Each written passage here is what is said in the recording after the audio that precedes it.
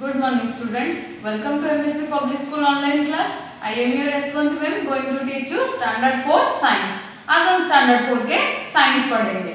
पहला टॉपिक पढ़ेंगे unit one open your book at page number 144 topic का नाम क्या है? गो ग्रे देखो leaves the food machine book देखो when you think of food what is the fast thing that comes to your mind आप जब food के बारे में सोचते हो, आपके मन में पहला पहला क्वेश्चन क्या आता है? How how is it eaten कैसे खाते हो? ये याद आता है पहले?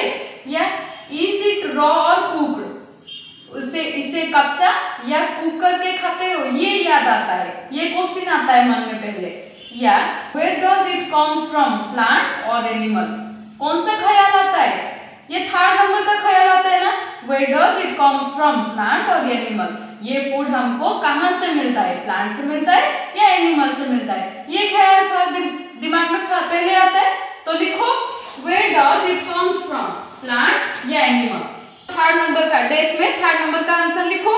Most of the food that we eat directly comes from plant हम जो फ़ूड खाते हैं, थोड़ा फ़ूड ऐसे भी होता है जो डायरेक्टली हमको प्लांट से मिलता है.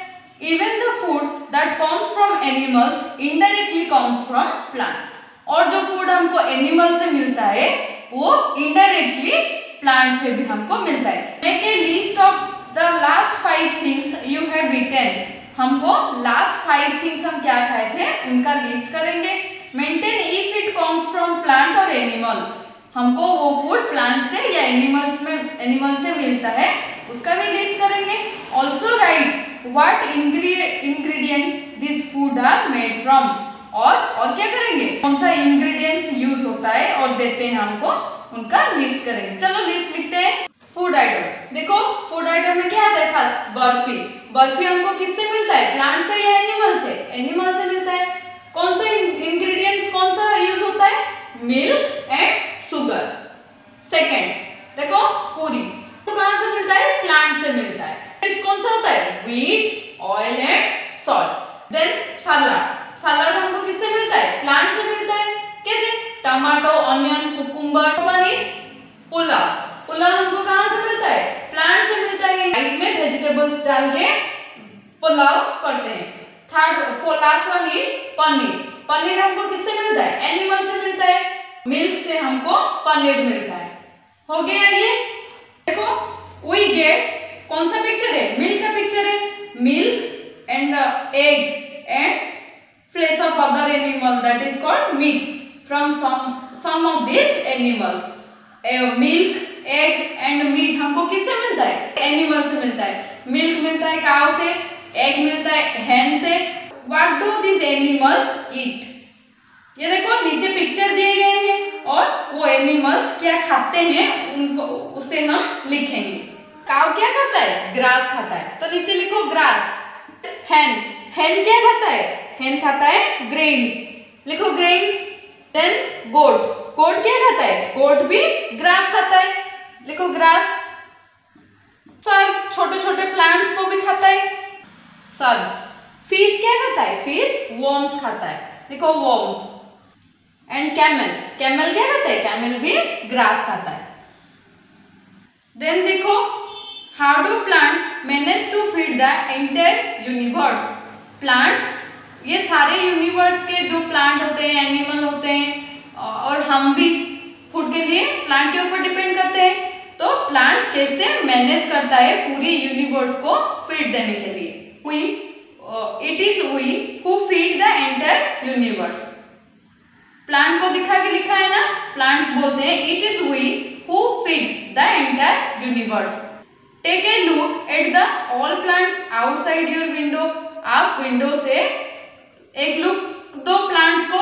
Is there something similar you see in all of them आप जब विंडो से बाहर देखते हो सारे प्लांट्स को क्या आपको सारे प्लांट्स में कुछ सिमिलरिटी दिखाई देता है? दिखाई देता है कि नहीं? यस yes, तो यस पे टिक करो। यस yes और नो लिखा है तो यस पे टिक करो। कौन सा सिमिलरिटीज दिखाई देता है आपको? Have you ever wondered why most of the plants are green आप कभी शौक हुए हो? सारे प्लांट्स ग्रीन दिखाई देते हैं, ये सोच के। It is due to the presence of a common substance in the leaves which gives them a green colour सारे प्लांट्स ग्रीन कलर के क्यों होते हैं? क्योंकि एक कॉमन सब्सटेंस प्लांट में प्रेजेंट होता है, जिसके लिए सारे प्लांट्स ग्रीन कलर के होते हैं। This substance is called chlorophyll जो जिस सब्सटेंस के लिए सारे प्लांट्स ग्रीन कलर के दिखाई देते हैं, उस सब्सटेंस को क्या कहते हैं? क्लोरोफिल कहते हैं। देखो क्लोरोफिल का स्पेलिंग लिखा है ना? कौन सा वाला करेक्ट स्पेलिंग है? लिखो। C H L O R O P H Y L L chlorophyll compare the contact ये तीन जो प्लांट के जो ये जो थ्री प्लांट्स के पिक्चर दिए गए हैं उनको कंपेयर करने, करके लिखने के लिए कहा गया है। चलो इस तीनों को कंपेयर करके लिखते हैं। तो वहाँ पे लिखो all plants differ in their size of leaves सारे प्लांट डिफरेंट डिफरेंट होते हैं। क्यों? साइज़ ऑफ़ लीव्स लीव्स के size stem flowers and fruits ये ये इस वजह से सारे प्लांट एक दूसरे से डिफरेंट होते हैं। Their time of bloom is different उनके ब्लूजूम टाइम पीरियड भी डिफरेंट होते हैं। पहले पिक्चर में डेजी फ्लावर के प्लांट है ना? Daisy flowers plant has the shortest life span वो कम दिन? ज़िंदा रह सकता है।